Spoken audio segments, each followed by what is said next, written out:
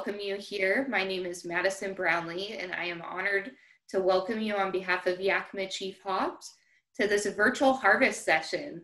Today, we're going to be discussing Talus, which you may or may not be familiar with that name yet, formerly HBC 692, and some of the process and histories surrounding the history of experimental hops. So I will now turn it over to Jim Lambert, which may be a familiar face for many of you, to introduce our speaker today. For the most of you, good morning to you and uh, good evening for you here in the States. Um, really excited for the program today. Uh, as Madison just mentioned, uh, a history of, uh, of our experimental program and then with specific with the 692 or TALUS recently released. And our guest here today is uh, Joe Catron. Joe is the vice president at Yakima Chief Ranches, which is our breeding and crop management partner here in Yakima. Um, Joe has a very interesting background. Uh, he has a degree, a Bachelor of Arts in Cultural Anthropology from Western Washington University. And, and like a lot of all hop people, he went and got his master's in agriculture over at Washington State, kind of hedged the bets there. But putting that aside, probably the most interesting thing about his career is that Joe, before he got into this business, was a rocker with uh, Cody Beebe and the Crooks touring the Pacific Northwest, playing a lot of music. And uh, for those of you ever get back to the States, have a chance to possibly see him play, I highly recommend it. Um, one of the more interesting people, very knowledgeable, and we're very grateful that he would take his evening. He's been on a 16 hour day. So, Joe, thank you so much for joining us. Um, and please. Awesome, Jim. Thanks for the awesome introduction. Um, let me go ahead and Get my screen shared here. Are we in pre presentation there mode there? Does that look right to you guys or is it not in the?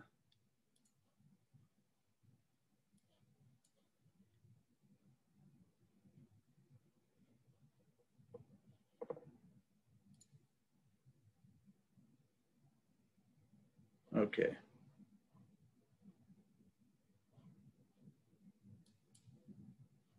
Can you all see that slide there?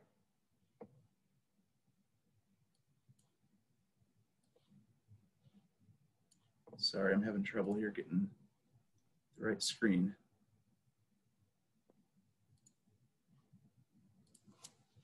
Apologize for this.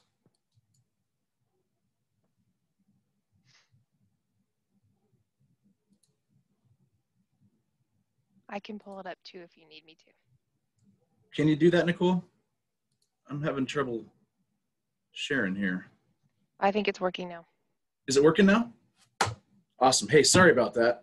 Like Jim said, I, I uh, I've been working since four o'clock this morning, so I'm a, I'm a little dazed and confused, as they say. Um, but long, crazy, long, crazy days during hop harvest. But uh, incredibly happy to be here with y'all, and look forward to to chatting more about uh, the kind of history and future of Yakima Chief Ranches and our experimental hop program and how that affects you as brewers um, and how we can work together as, as partners to uh, get these hops out of the market more effectively and, and get more brewers using them. Um, so we'll go ahead and jump right in here. Hey Joe, we see your slideshow, but not in presentation mode. We see yeah. it in the PowerPoint. Is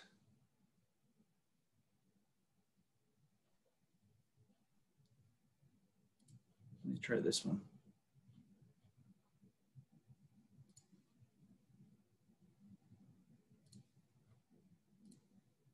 Better now? No?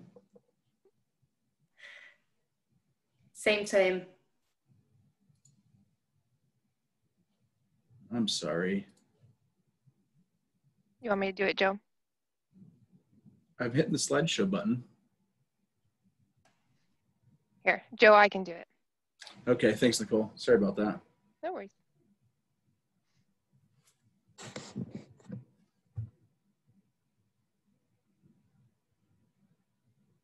So can I control the slides now, Nicole, or do you have to? I will. Okay.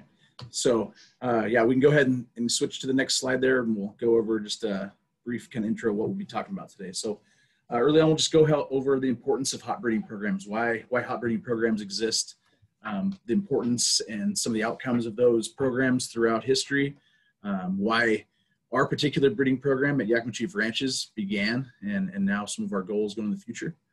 Uh, we'll go through the hop breeding development cycle um, and all the different stages of selection uh, that we go through to develop new varieties and then bring those to market.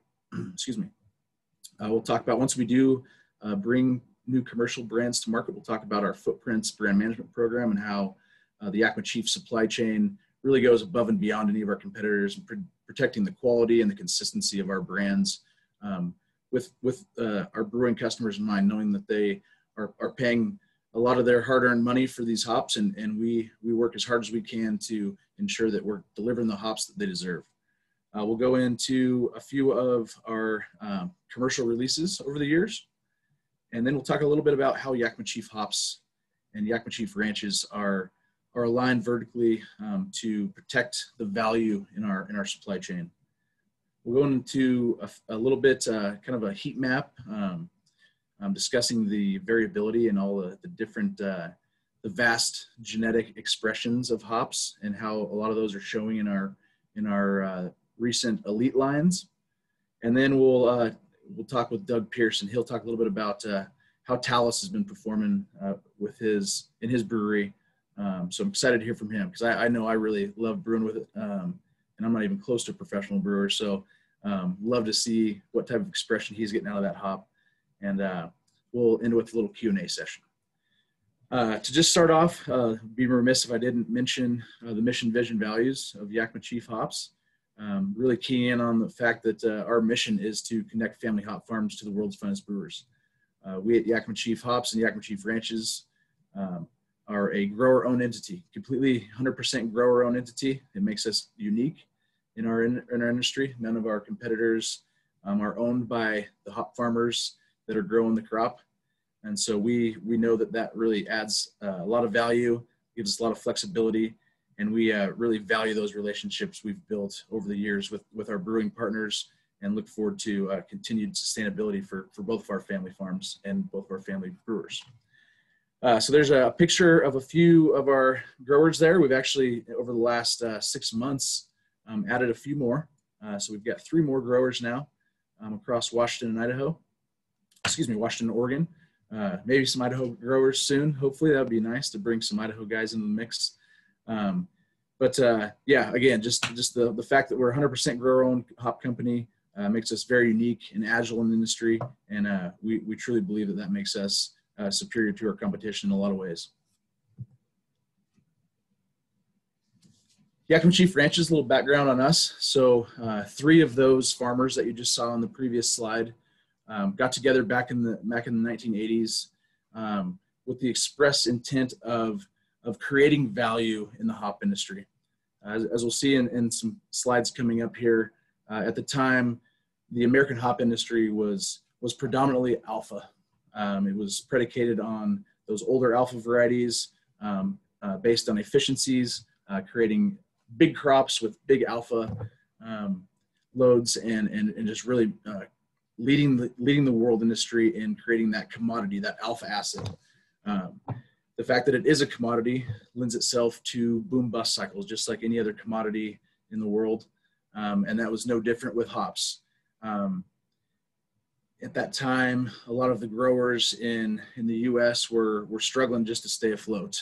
Um, if you can picture back then, we didn't have um, awesome breweries in Beijing and, and Taipei and, and even anywhere in the, in the US. We didn't have um, incredible brewers, uh, you know, in every major city. Uh, there were there were very few uh, customers, and there were only a couple really large multinational conglomerates that uh, managed and, and controlled the, the trade um, of the world's hop crop. And uh, unfortunately, a lot of growers um, were under the thumb of those large, powerful companies, and a lot of farms uh, went out of business or were um, acquired by other larger farms.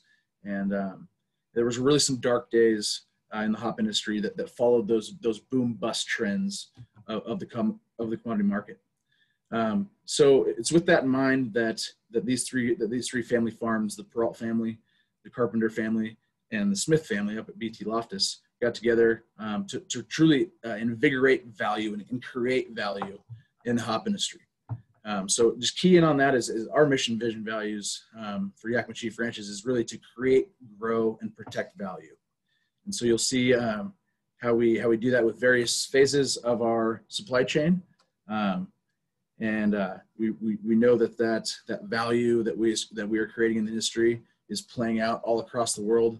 Um, people are being able to reinvest in their facilities. People are um, expanding their brew house and expanding their farms to, to meet the needs of, of our collective customers. And it's really exciting to see uh, that value creation come from within our breeding program and and be spread across to everyone within our footprint. Um, also a keynote there, uh, Jason Perrault, who is uh, the CEO of Yakima Chief Ranches, um, very knowledgeable, incredibly uh, passionate hop breeder. Um, he he was still in college back back in the day, and, and he got to study under the renowned hop breeder Chuck Zimmerman, who's uh, responsible for many of the old C hops, uh, Cascade, Columbus, Chinook, a lot of those C hops that came out of the USDA breeding program uh, back in the 70s and 80s. Th- those were Chuck Zimmerman's crosses as well. So um, the, the, the the three family farms were able to to convince Chuck to come out of retirement and, and moonlight as the first breeder of Yakima Chief ranches.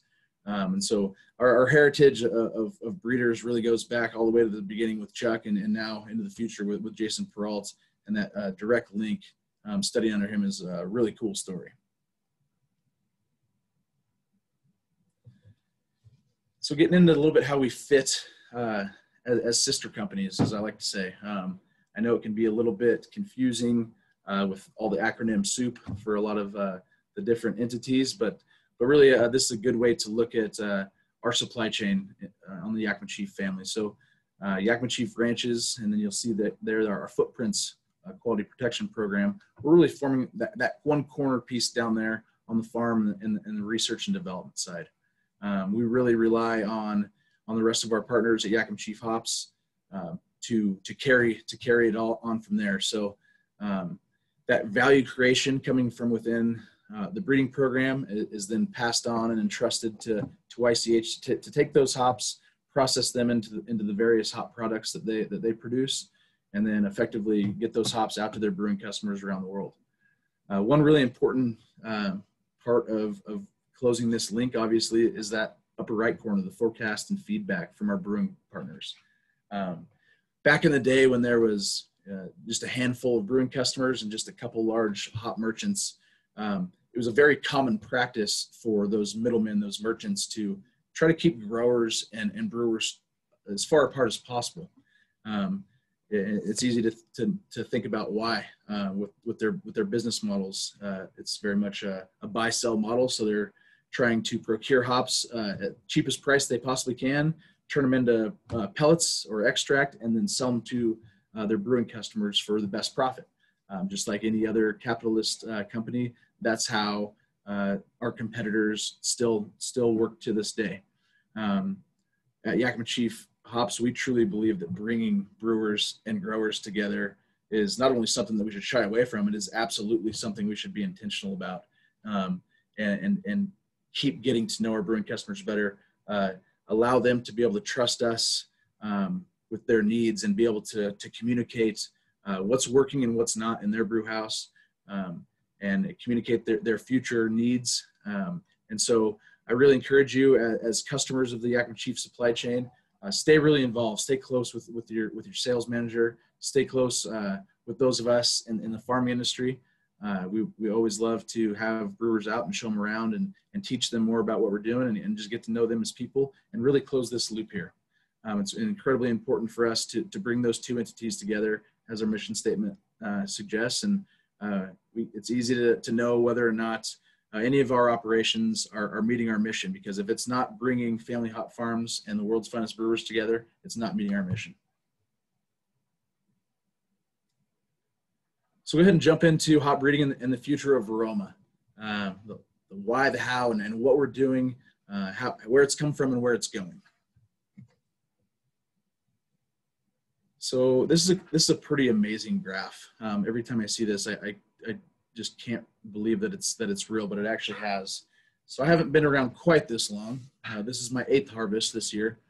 Um, but look on that first bar, the blue bar there on the left, that's 2011. You can look at that and see that the alpha production right there on the left is uh, about 17,000 acres roughly, judging by that. And then you look at the blue bar in the, in the middle set of bars there, that's the aroma acreage in the United States. Uh, far below 10,000 acres, uh, nearly doubled um, by the alpha acreage uh, in the United States. And just look at the trend since then. Every year we're setting record uh, acre uh, records with uh, the amount of acres and the amount of production um, in the United States. 2020, unsurprisingly, may may or we may not set a new record for various reasons. Um, had a lot of windstorms. We've had the COVID-19 pandemic that has uh, really dampened a lot of, of sales and, and changed the way we're we're, we're uh, growing hops at this point. We don't want to uh, flood the market with a bunch of hops that can't be used. Um, so not to get too far down the dark rabbit hole of 2020, things are uh, looking up, obviously, um, for for hop growers and, and, for brewers alike. And hopefully we'll get past this and continue down the, the path of uh, uh, continued growth and sustainability in our industry. But just amazing to look at those bars now and look at 2019. We have well over nearly 40,000 acres of aroma hops uh, in the United States. And Alpha still is dancing right in between that kind of 10 and 15,000 acres. Uh, so you can see that dramatic swing uh, of the, uh, the proportion, the, the, majority of the acres in, in Yakima, Oregon, and the Idaho growing regions shifting to aroma varieties.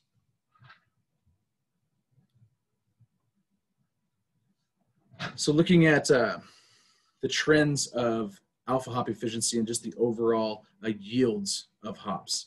Um, we talked about alpha hops earlier being uh, just based on efficiencies, really just big yields, big alpha acid numbers, uh, not really concerned about aroma or appearance or the handling or anything of those hops. It's really about get, get the alpha acid, extract it uh, into cans and, and get it out for, for bittering purposes around the world. Um, and so a lot of alpha, super alpha varieties are, are huge yielders. Um, as you imagine, it's just based on efficiency. So uh, with the exception of Mosaic and Palisade, the top 10 uh, yielding hop brands are super alpha varieties. Um, and so as our acres increase or a proportion of acres increase toward aroma, um, our overall yields tend are tending uh, trending down rather um, over the years because aroma varieties are, are lower yielders than alpha varieties.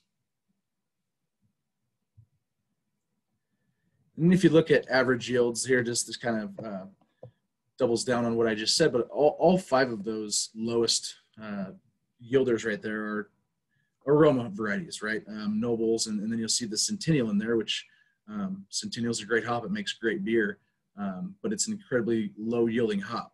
Um, it was bred back in the 80s and it is susceptible to just about anything uh, we see uh, in commercial hop production as far as scourges, whether it be mildews or mites. Um, Centennial is susceptible to just about anything.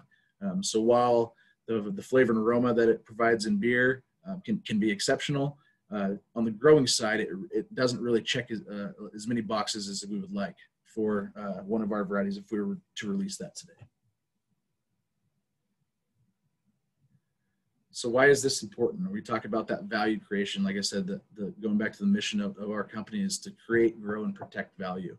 Um, you can go ahead and hit that next button. Nicole just drops down, it'll drop down there. But um, really looking at that value creation is right there in that breeding program. So coming up with a new novel variety um, that has nice disease resistance, um, acceptable, nice yields, um, uh, fits fits our harvest windows. That's that's something that uh, not a lot of people think about, but harvest window is an incredibly important criteria in us selecting uh, new varieties of, of, hop to bring to market.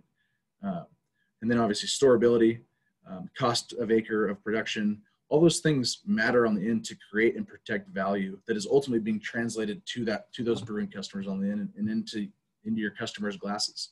Um, we love to see brewers use our brands on their packaging um, to promote their beers. This beer is made with Simcoe. And the fact that their customers see that brand and associate that with value, associate that with an excellent hop, that's ultimately what we're going for. And that's where that value creation is. It starts in the breeding program and extends all the way to the pints that our, that our customers are enjoying. So jumping in the development cycle here for, for bringing a hop to market. Uh, you'll see there over 11 years to breed. That is uh, that is accurate. That's that's that's actually about a decade long process um, from cross to commercialization. Um, any any given year, we have uh, typically between about 30 and and 50,000 uh, genetically unique seedlings. Um, so, a really cool thing about hops, and it's they're not the only field plant in the world like this, but uh, there's not a whole lot. But uh, the term is dioecious. So plants, um, we have male and female uh, individuals within within the hop genome. So we're able to uh, effectively collect male pollen and introduce that that pollen uh, in, onto a re receptive female flower. Um, she will still go on to create hop cones, but they'll be heavily seeded, and each of those seeds will take and thresh out. And that is basically the, the year one there. So that parental selection and crossing that you see in year one is the actual cross. So just collecting pollen, uh, introducing that into receptive female flower and making that cross and then collecting those seeds from that cross. Uh, year two in the program is when we'll go ahead and screen those. So we'll germinate those seedlings in the greenhouse and screen them for those mildews and those different disease susceptibilities that we spoke about earlier um, that will basically eliminate a hop from our selection process. If we um, see that hops are incredibly susceptible to whether powdery or downy mildew or both, or um, rhizoctonia or any any various uh, diseases that it, that it could uh, be affected by, we eliminate those plants uh, right right in year two, right in the, in the greenhouse screening. Um, if they make it through greenhouse screening, then we're they plant it out into our seedling plot. So every year we have that's where those 30 to 50,000 seedlings are planted every single year. Um, we'll really baby those along to try to just get them up to the point where they will they themselves will sexually express um, we'll be able to identify males from females. Um, obviously, for for our for our needs, we're just looking for for female hops. Those are the only ones with real commercial value uh, as of right now. Um, and so we will evaluate those female plants, and if it makes it through that first round of selection in the seedling plot, uh, we're able to dig up that root mass. So uh, just growing for one season, uh, it's roughly kind of about the size of your fist. Um, so we can dig up that plant that plant mass, uh, mark it with its number, and, and move that over to what we call single hill, number three right there, years three, four, and five. Uh, single hill uh, identifies just the one single plant, um, each genetically unique, that's planted next to each other in single hill and raised to a full commercial trellis, evaluated for three full seasons there for in, in a whole battery of criteria, um, and evaluated for both agronomic and, and brewing commercial uh, capabilities. Um, at that point, if it makes it through uh, the selections in single hill, we're able to, at that point, take enough rhizomal uh, cuttings or, or tissue culture, uh, soft tissue cuttings, and, and, take that one variety and blow that up into about seven plants. So on the, on the next slide there, you'll see uh, number four, so years six, seven, and eight are what we call our advanced selections. So we're taking that one single hill plant, taking planting a, uh, rhizomes basically off that off that crown, off that root mass, and planting them out and raising seven identical plants right next to each other for another three full years of evaluation. Um, the reason for that is it's a nice intermediary there between one plant where you may or may not get the full story of, of what that plant is capable of with just one plant. Even within three years of evaluation, with all the variability in weather um, and, and, other different conditions that we deal with in, in commercial production, um, it's really hard to get a, perfectly clear picture just with one individual. Um, so blowing that up into seven plants gives us a, a little bit better idea, uh, especially on the agronomic side, how how that may fare if we're able to take that to the next to the next layer. Um, so you'll see there in um, in um, number five there. Thank you, Nicole. Uh, years nine through 11 are, are, the elite trials. So this is where it gets to the point where it gets that HBC accession number. It starts getting in the hands of guys like Jim and Percy and getting out into the market. Uh, we've got it blown up to maybe an acre an acre planting or two or three acre plantings um, in, in separate growing regions to see how it, it fares in, in, different climates. Um, and then we really start getting it into the hands of our brewing customers at that point and seeing how it performs in the brew house. Um, at that point, we it's checked enough boxes for us that we have short-term buy-in with our with our growers that hey, this is something that uh, seems viable. I'm willing I'm willing to put in a yard of that. Um, but really, we're looking for that long-term buy-in by our brewing customers, um, incorporating that that new brand into into their beer, into their beer, multiple beers, um, and ultimately uh, having a long-term relationship with that hop that's something that uh, will be in their in their brew house for years to come. Um, and then at only at that point once we have uh, really strong grower buy-in or brewer buy-in rather is when we would consider commercializing that brand. So uh, jason my boss likes to say we, we want brands to be pulled into the market um, you know there's 200 plus uh, different varieties of hops available at your disposal as we speak um, we don't we're not in any hurry to push uh, more more brands onto the market. We we really want to um, have those those brands be pulled onto the market by those brewing customers, um, having that value play out in their particular brew house and uh, make make the difference in what they're doing and ultimately lead uh, lead the way for us to continue to develop those brands as uh, as demand grows. So you can see here, there's a little demarcation there. So prior to uh, 2007, we were um, operating just independently as Yakima Chief Ranches and had several commercial su successes there, most notably Simcoe, um, which hopefully you all know and love. Um, and then after after that, we we joined a partnership uh, with HBC. So we're one half of the hop breeding company, and you can see there since since 2007, we've had several uh, commercial successes: Citra Mosaic, Ekuanot, uh, Sabro and Pahto in 2018. And then you see there on the end, Talus, which we just released uh, just a couple weeks ago. And we're incredibly excited for the future of that brand.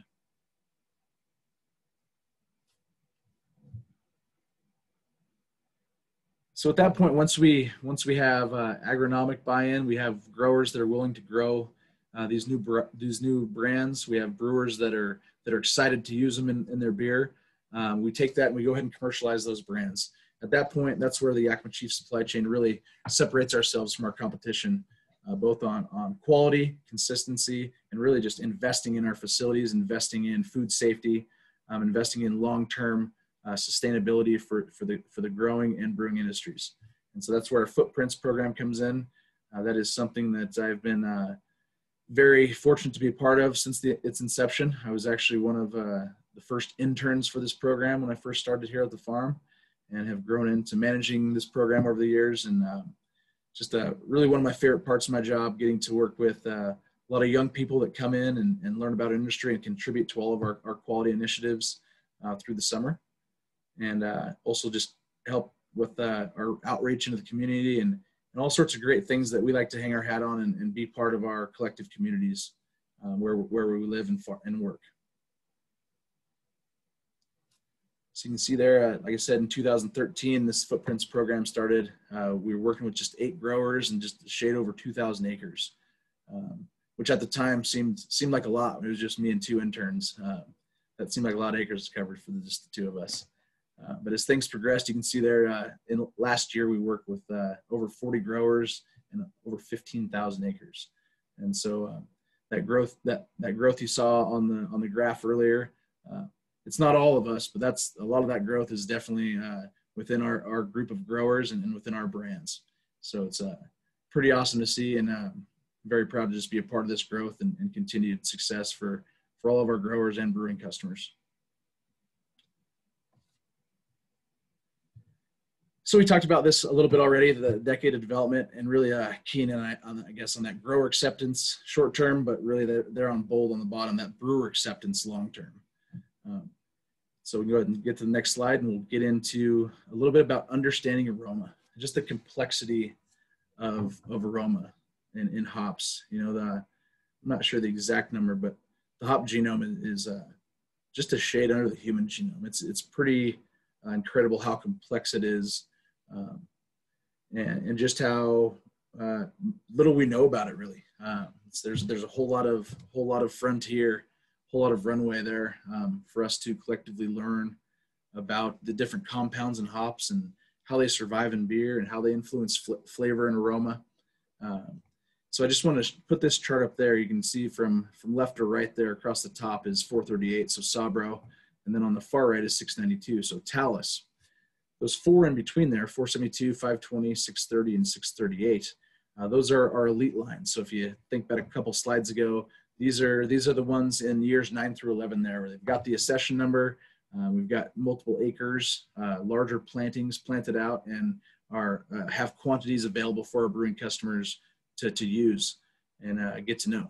So I just wanted to show you just the, the, the different uh, kind of the heat map here and how how much variation there can be just within within hops. So I want to key in uh, on 438 and 472. So Sabro and 472 right next to it there. Uh, those are maternal sisters.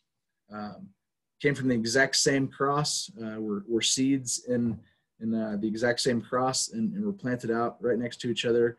And you just see their uh, you know total oils, for example, in Sabro, over three percent oil, uh, just a gigantic oil hop. 472 is only half that. You look at Myrcene, 62% of the, of the, of the compound in, in 438 in Sabro is, is, is myrcene. Uh, only about half that, 36 in, in 472. You drop down and look where the, look where 472 has those hot spots. Caryophyllene, 28 caryophyllene is off the chart. You see 522 there right next to it at 22, but everything else we've ever seen uh, is is far below 20.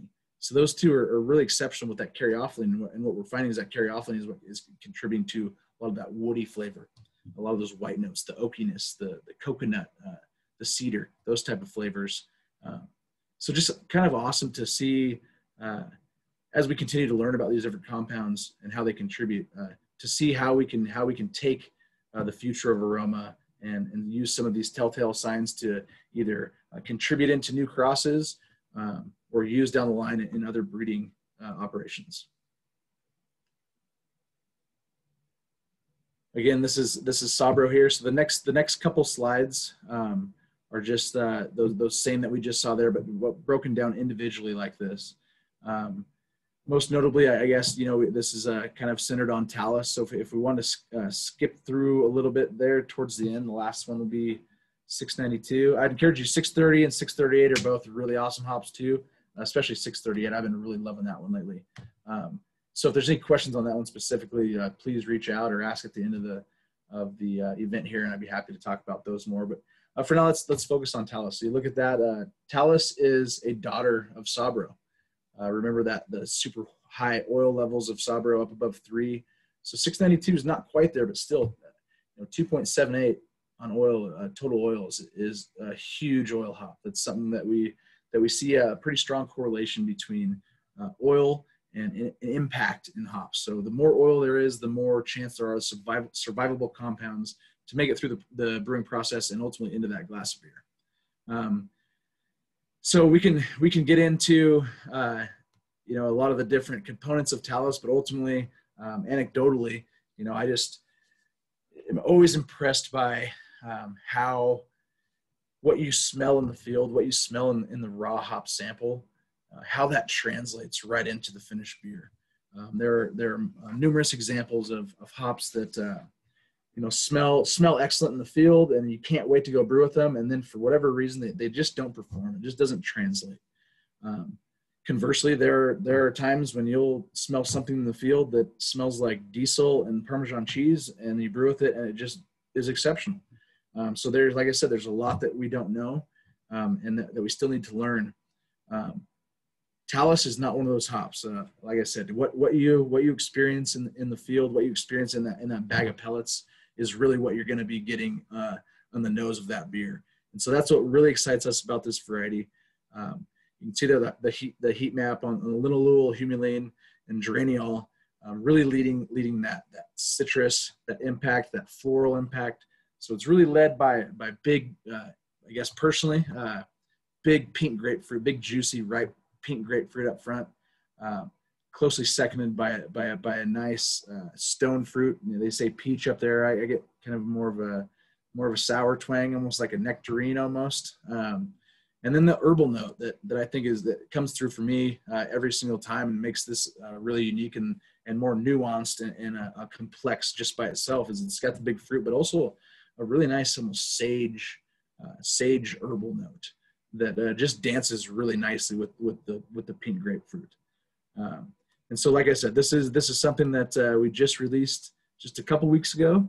Um, but I know that a lot of brewing customers have been excited about uh, about this hop for a long time, working with it as 692, and uh, I just can't wait to see uh, where we can take this brand. So, at that point, uh, I mean, I, I guess at, at, this point we can go ahead and, and transition.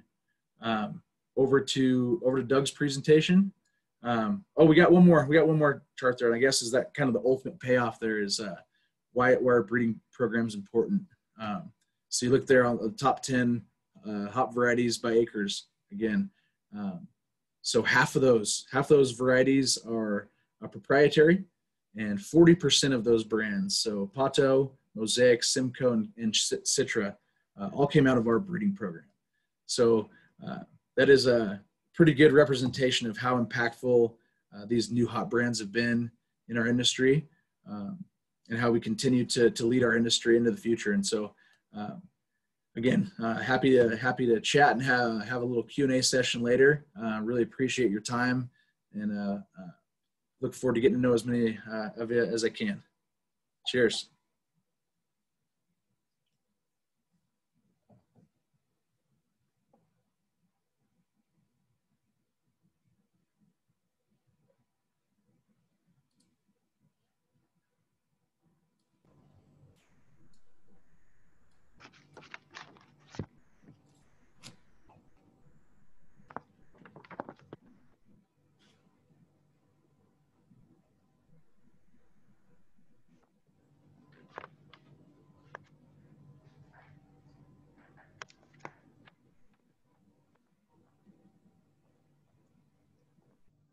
So, are you making your video?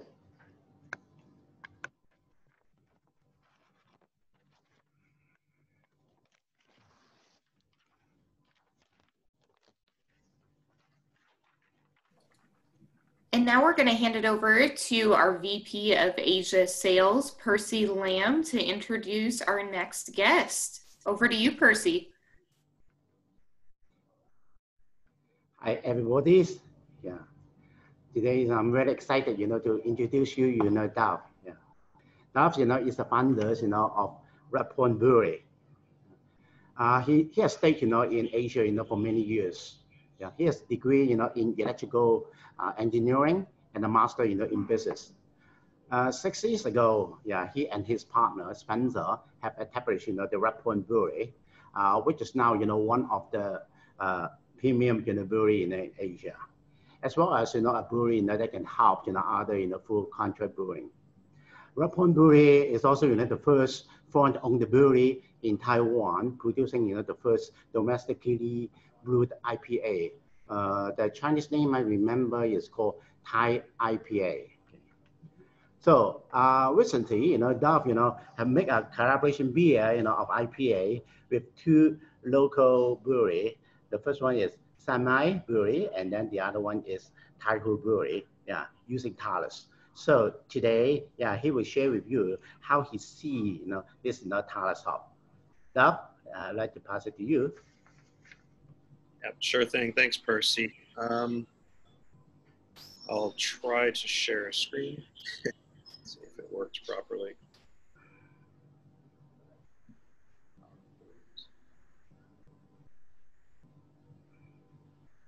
Is that working?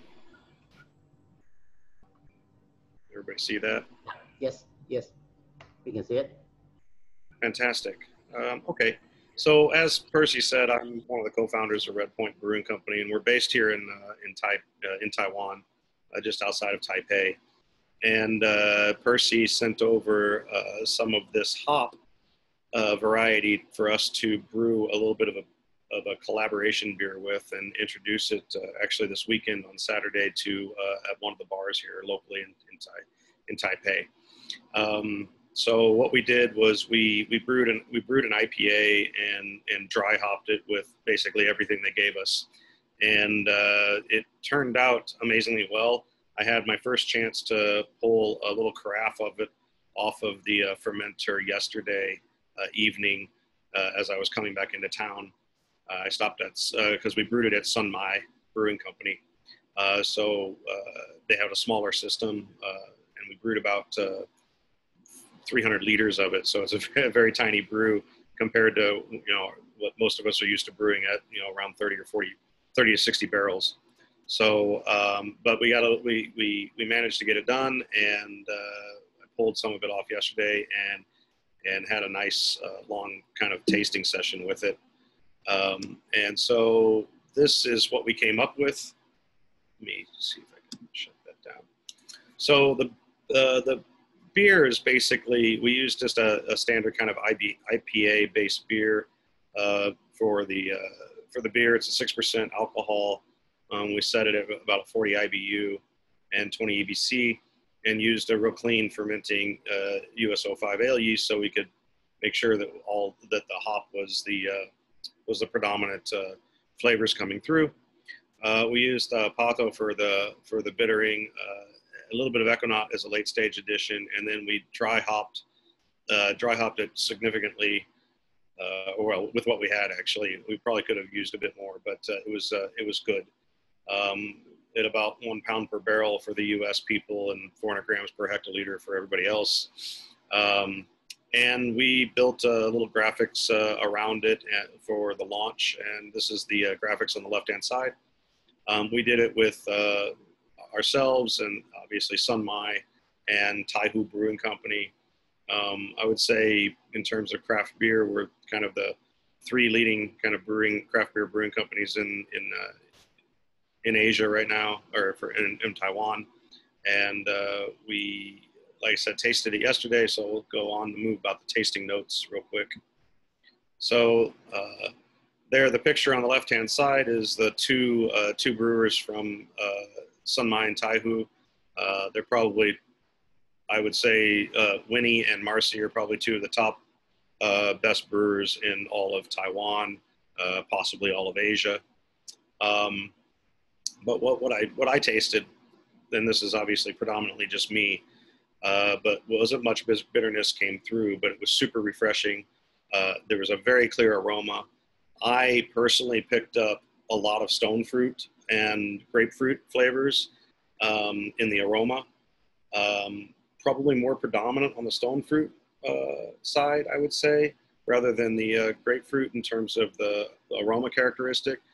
Um, it was definitely reminiscent of Sabro.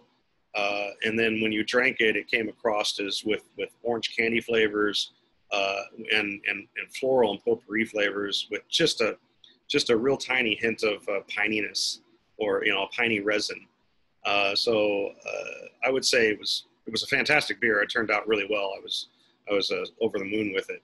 Um, and kind of, kind of looking back on it, I would say, you know, definitely it's uh, it's great for sort of that West Coast style IPA, which you know we finish real dry, and because the hop comes off almost as uh, a relatively sweet hop, which is pretty interesting given the relatively high alpha that comes off with. So.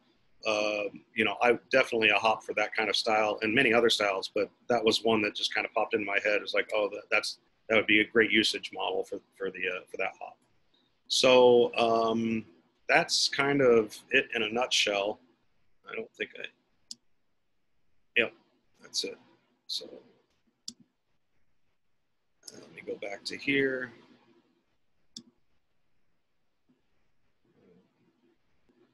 Did I lose everybody? No, I didn't. there we go. So, um, and if there's any questions, I can I can certainly uh, I can certainly uh, follow up and and, uh, and chat with anybody. But the bottom line though is is that we're going to launch this beer at a bar in Taiwan on Saturday afternoon, and I suspect it'll all be gone by Saturday evening because it's a it's a it's a really really high quality product, and uh, and the, the hop just it really it's really I think the beer showcases the hop really nicely. Um, those stone fruit uh, aroma characteristics that are coming off it are absolutely amazing. The color is amazing uh, of the beer, and then the uh, the flavor that's coming off of it, uh, clearly coming primarily from the dry hop. Uh, we used the Pahto just to bitter it a little bit, um, but it didn't. The bitterness didn't come through. It really, I think, it was predominantly uh, predominantly the 692, the Talus, came through on the dry hop side. So, really, really happy with it.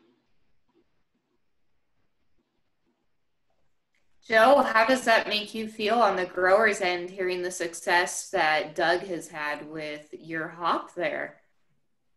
that's awesome, Doug. Uh, sounds like an awesome beer. Um, at some point, I'm going to come see you and drink some of that. Uh, probably not for a few months, unfortunately, but no, it's uh, that that's the name of the game. You know, that's that's why we're doing this. Um, you know, it's it's a it's a very unique industry we find ourselves in. Um, the way beer is going, uh, you just can't make beer without hops. Uh, the way uh, the hop industry is currently formatted, there's nothing we can do with hops except sell it to brewers.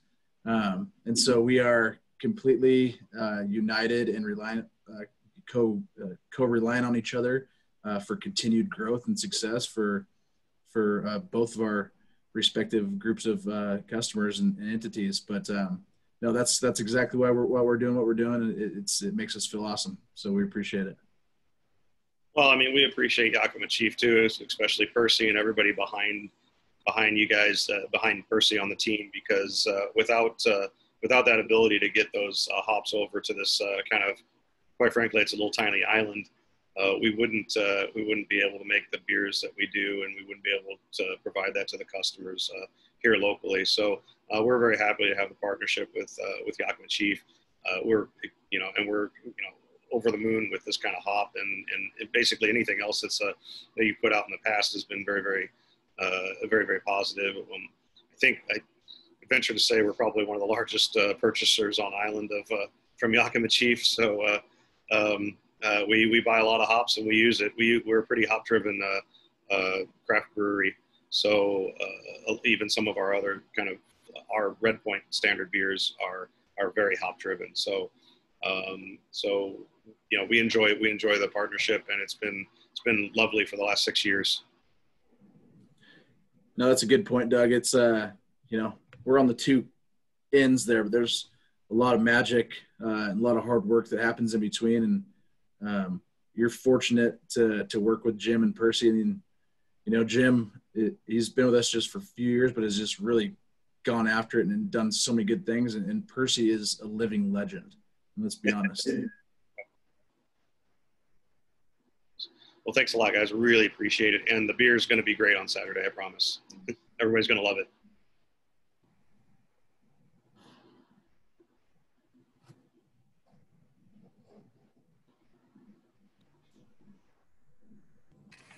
Joe, I'm going to ask you a question. With uh, I think because a lot of people attending this, um, it's their first time to hear about the complexity of the breeding program. Mm and uh, an introduction. A lot of know what HBC is, um, but then had not known the behind the scenes. And you know, you had mentioned agronomic, and then of course from the brewing side, the two sides meet together. Mm.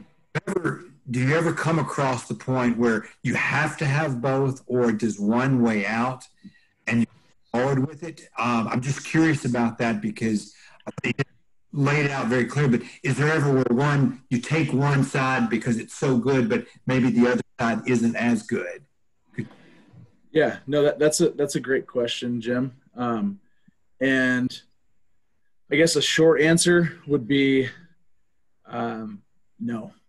Um, at this point, like we talked about earlier, with 200 and some named hop varieties out there, um, we're we're not really in a hurry to push more brands on. Um, with the increasing difficulties with with just farming in general and the uh, uncertainty year to year with that, um, that would be a really huge risk for us to ask our growers to take. Is like, hey, we think this hop's kind of cool. It, it, might perform well for you on the farm.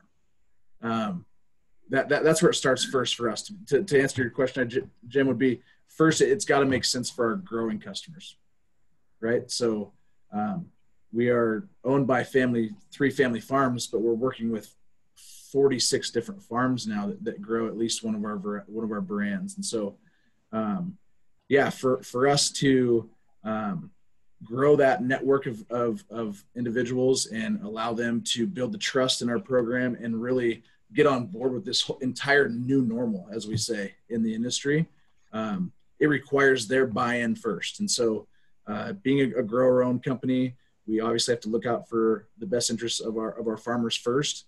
Um, but that being said, you know, 472 is actually a really good example of that. For uh, that, it's so novel and so unique. It's it's, sister of Sabro. Um, it's that one. It's very woody. It almost imparts um, a bourbon barrel flavor to beer.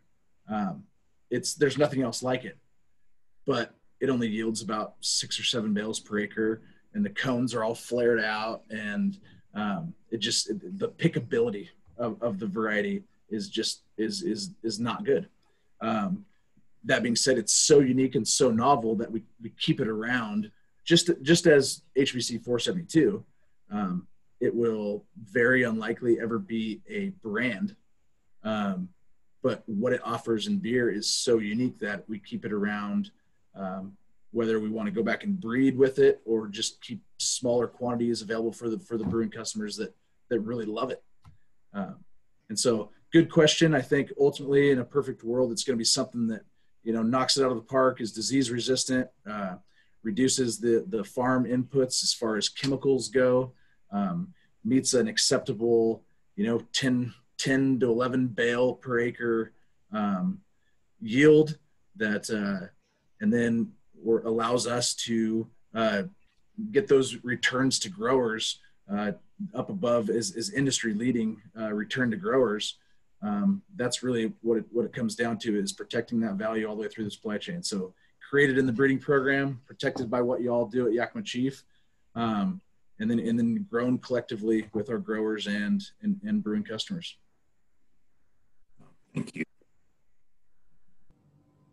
Interesting you mentioned uh, 472. There's there there's a number of our Korean friends that have joined, and this past year, um, a year ago, this past May, um, 472 dry hop beer won the first um, Alpha King that we did. Uh, in fact, one of our distributors from Brew Source, Jason Lee, yeah, uh, the amazing brewery, um, won with a, a 472, and we've always they've always wondered. We get asked a lot of questions about 472 because Korea, Japan, there's been tremendous acceptance with this uh, with this hop in those two markets, and we were always curious drive the commercialization of it, or is it something that's going to always be kept around and it's created its own brand because it's known as HBC 472? Yeah, no, I, I think that's that's it's going to be some semblance of that. You know, it's it's not going anywhere for those brewing customers that have have fallen for that and and love using it. Um, it's not going anywhere. You know, I, I, think there's there's so much more to be learned uh, about that hop, especially just how it performs in the brew house because it is uh, that that neo Mexican neo Mexicanus lineage with the Sabro. Um, it, it, has a flavor profile that that is a little bit polarizing. Um, it is what it is. Some people smell it and taste it and say this is so weird and cool and some people say this is so weird take this away you know um, and so it's it's polarizing and, and like doug said with with talus it shares some of that sabro-esque um, on on the more uh, kind of the woodiness the coconutty side a little bit but way to, way toned down uh, in my opinion below sabro but you still definitely see oh yeah, I could I could see how that's a descendant of Sabro. Um, it, it, definitely has some similarities, but I think stands stands alone in a more fruit forward uh, way than Sabro does, and, and, doesn't have a lot of those uh, those notes that can be a little bit off putting for some folks. Something that you mentioned there with the Neo Mexicanus line, maybe comment on that because I think we have a lot of people online that may not know what that actually means. Uh, yeah, yeah think that's an interesting because if I don't know if you remember when I first hired on, that's what Jay talked to me about, and, and it was the very first thing I learned when I came into the company. So it's a yeah. and I want people to hear the you know a little bit more about that if that's okay. Yeah, absolutely. It's it's a fascinating history. I mean, it's you know we're not the first people in world history to, to breed hops. Um, people have been there's hops referenced in literature a thousand years ago. Um, and people have been uh, propagating landrace varieties and breeding breeding hops uh, for for ages. Um, when North America was founded by mostly Europeans, um, at that point, no one had any knowledge of hops in the New World, um, and so if they were going to take that plunge and, and, sail across the ocean, they you better you better believe they were going to make sure they had beer when they got there. So a lot of those Europeans brought the land race varieties from wherever they came from, whether it be Czech or UK varieties or German varieties. And a lot of the early uh, American varieties were were descendants of a lot of those UK varieties um, mostly, and so um, I think it's fascinating to look at that. You know, even up until uh, you know the the middle, even latter half of uh, of the 20th century, we didn't think that we had any uh, native hop species in North America. Um, there had been lupuloides. Uh, I guess to go back a little bit there, Humulus lupulus lupulus is the main uh, genetic framework that we use for a lot of the varieties we use. There's also Japonicus, there's lupuloides, um, there's different uh, different varieties of hops that, that are that are indigenous to certain regions of the world. Um, up until very recently, we didn't think that we had any here in North America. However, Neo-Mexicanus, as the name implies, um, so down in the Rocky Mountains of the American Southwest, uh, near the Grand Canyon, northern Arizona, northern New Mexico, everybody thinks about that area being just a big 115 degree desert, but really northern Arizona and northern Mex- New Mexico are very much in the Rocky Mountains in very high elevations. Um, so Humulus lupulus neo-mexicanus was actually found as a indigenous hop species in the American Southwest. Um, we, Chuck Zimmerman actually, Jason's uh, mentor, was able to secure a wild uh, neo-mexicanus female um, in the early 90s. And they were able to, it was basically, uh, you know, talking about agronomics, Jim, it was it was ugly. The cones stank. Uh, the, the, growth pattern was nothing you'd ever want to um, use for a commercial variety. Um, certain years it would bloom so you know bloom so late that it was not viable to make crosses on, or would not even bloom at all. Um, and so, as the story goes, they were uh, basically done with all their crosses for that for that year, and were going through uh, the the laboratory and getting rid of old inventory um, of pollen and all sorts of different stuff. So they basically were cleaning out the fridge of all these different uh, uh, male pollens that were no, no longer usable for that year because they, will lose their viability if not stored properly. So they're basically getting rid of all this pollen and were on the way out to go throw it all away and saw that this Neo-Mexicanus plant was actually blooming and receptive. So they're like, no way. And so they just took this whole bucket of all these mixed uh, pollens and went and doused this female Neo-Mexicanus plant in all these different pollens, um, which uh, the term for it is open pollination. So when we when we don't know what the exact parentage is, uh, it's it's deemed an open pollination. So we know what the maternal parent is. We don't know uh, who the paternal parent is. Um, so just one of those crazy uh, strokes of luck. Both Sabro and 472 uh, came out of that cross. Uh, now, ultimately, Talus, right? Talus wouldn't be here without that cross either. Um, exactly. So, pretty amazing how that works, um, and and and really how we've we've been able to incorporate uh, Neo Mexicanus genetics into the rest of our breeding program. So it's uh, you know the last couple releases have been have had Neo Mexicanus heritage, but really it's it's just an incorporation of those genetics into our overall germplasm that is starting to create some of these newer crosses coming out. Fascinating. Fascinating. Oh, that's the point I wanted to make is that is, is what you just said, that Talus, we wouldn't be celebrating 692 or Talus without that fortuitous moment that happened in the early 90s. That was the right. my first day at the company is what I learned. But uh, I really think, uh, Madison, Nicole, do we have a do we have a, a movie that we wanted or a, a quick video that we wanted to show?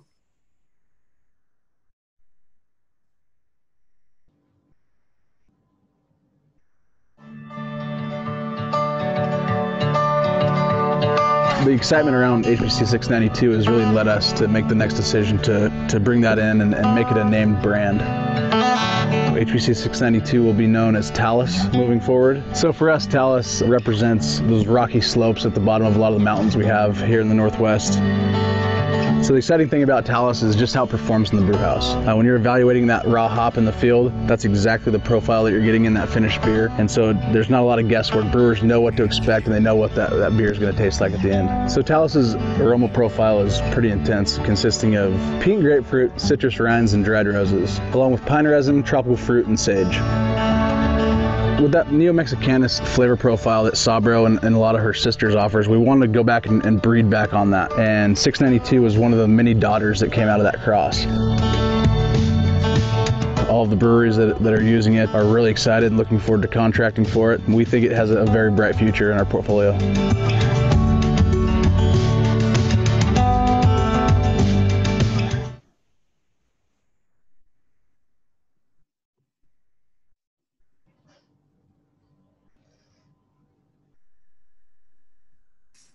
Doug, I think Joe's taking that. I'm going to throw a question to you if that's okay. We have one question in our um, in our uh, in our queue, and Doug, I'm going to put you on the spot because I think you could be more versed to answer this. Um, if you had to take a guess, what hops do you think most people will use with Talus in a beer? I think you're on mute, Doug. That's better. um, oh, that's a good question. I mean, I think you could use. Uh, I mean, because it comes off with such a strong kind of floral and potpourri. I mean, it's a great dry hop. Uh, there's no doubt. Um, and then it provides that nose, which is the grapefruit and stone fruit. I mean, I think you'd want to pair that up with a with a decent alpha uh, bittering like a like a Pahto or a um, you know, I think you could probably put Simcoe in the bittering hop. You could probably do something like uh, uh, maybe even a Sorachi Ace, which is if you want to get a little weird. Um, hmm. uh, and then uh, and then just kind of finish it off, uh, sort of late stage edition with something maybe a bit more. Um, a bit more resiny, like like an Ekuanot or something along, along those lines. I think those would be, you know, very solid hop choices to pair it up with.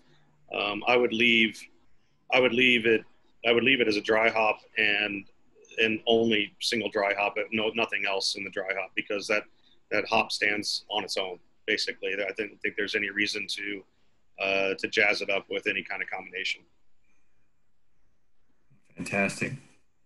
Um, Percy, do you did you you had mentioned earlier? Do you want to give a um, um, a little update on on what, what we have going on in Hong Kong?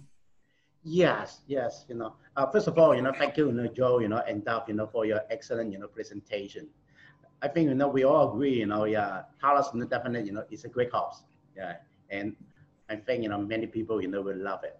Uh, so this, first of all, this product, you know, is now available, you know, in Asia. So if anyone, you know, of you want to get it, just call, you know, ID Jim, you know, and me. Okay? In the meantime, uh, we'll, you know, have a very special project, you know, in next week what we are going to do is we are going to work, you know, with uh, top three, you know, craft brewery in Hong Kong, making a collaboration beer using some fresh, you know, Talus hop.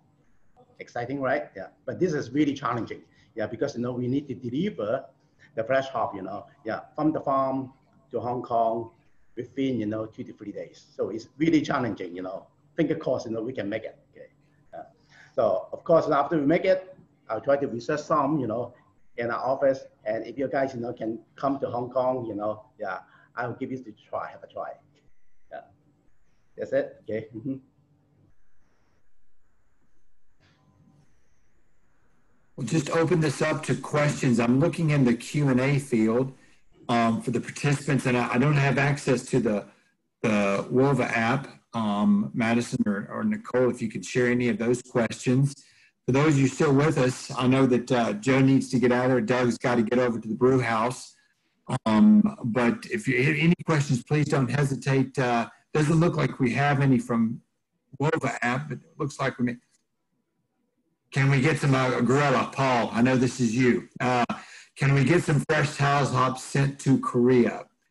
Um, I'm going to answer that for for uh, Madison and and Percy, if that's okay. Um, I'm assuming this is you, Paul, and I'm pretty sure it's you. Not this year. We we did Korea last year, and and the reality is is, is that COVID really knocked out. Madison is is much more fluent on the, the, that part of the logistics, but it just was going to make it very difficult.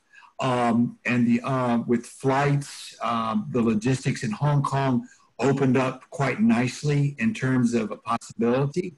but this is certainly something we want to entertain next year. Uh, we were very grateful to Korea for being able to get it in. Or uh, we did Autonom. We did uh, Madison. What else did we do uh, besides Autonom last year? I can't remember. Um, I believe we sent some Ekuanot over. Yeah. But yeah, we're just taking one groundbreaking task at a time this year. Exactly. So we're excited to see how it goes with um, Hong Kong as we try to venture to another region in Asia outside of the US with this project. Absolutely. Um, um, and it's, as Percy mentioned, it's an incredible amount of logistics to, to get this. Joe actually meets us at the at the farm. We load, we inspect, and it's basically straight off to the airport. But hopefully Korea next year, Hong Kong this year. But um, I don't see any other questions on here. And Joe, we can, um, and I'll just throw this out there. We'll make sure that the email addresses are available. Um, so you can, um, any of your questions after the, the commentary, you can uh, certainly email us. Let's see, maybe not, let me read this one. Um, um, maybe not a question, but a comment. I found it interesting that Doug described Talus as a good option for a West Coast IPA. As the Pacific Northwesterner, that's very normal for me, but for someone halfway around the globe, are there any other styles in that part of the world that lean into a use for the hop? Or is it the West Coast IPA really a global style? Doug, serving yet up to you, my friend. Yeah, I mean, I would say, I, I say styles are universal. They are they, they go across time zones and countries. So uh, you know we have a lot of people out here brewing West Coast style IPAs. Um, you know, juicy pale ales and and stouts and some lagers and things of that nature all over the place. So we, I mean, uh, I don't feel like uh, um, I don't feel like Asia is is is creating new, uh, for lack of a better term, you know, BJ CP standards. Uh, they're not, you know, they're not doing anything uh, sort of at, th- at that level. We're, we're definitely kind of following those type of types and styles of beers out here. Um, sometimes we get, um, you know, we're gonna we're gonna get uh, beers that have a, a, local flair to it. So, but I would still say they kind of fall into the same kind of same styles. So we might have a, you know, sort of a kind of a spiced beer that uses, uh, you know, some local you know pepper in Taiwan, but you know at the end of the day, it still kind of falls in that category. And so, uh, you know, when I say West Coast IPA, you know, in Taiwan, I would brew West Coast IPA in Taiwan and sell it as a West Coast IPA in Taiwan. And people here, uh, generally, and Asia, I think in general, uh, people that know craft beer and, or, or enjoy in, enjoy having a couple, you know, craft beers uh, in their in their spare time will understand that style and will you know and there won't be any it, will be it'll be it's an easy sell. They, they will be able to understand that and and and take it and drink it and appreciate it for what it is. Excellent reply. Thank you so much. No problem. Nice comments there. Um, just a quick look at the q&a it looks like we're we're we're out I know Joe probably needs to get on home. Doug's got to get over to the brew house. Madison, would you like to close us out or? Yeah, I'd like to again thank our speakers today, Joe and Doug. We really appreciate your time. I know poor Joe has been on a rather long day as we are full swing in harvest. And with that being said, this is just one of many sessions that we're doing in the virtual harvest this year in order to keep everybody informed about what is going on in the Yakima Valley and brewers around the world. Like we mentioned and heard from Doug today, some of the uniqueness or non uniquenesses of the brewing industry around the world. You know, the commonality between the beer types is fascinating and learning from each other on how we can use hops such as Talus to create the next wave in the brewing industry. So, again, thank you for joining us, and I hope you have a wonderful rest of your day. Thanks a lot, Jill. Yeah, thank you.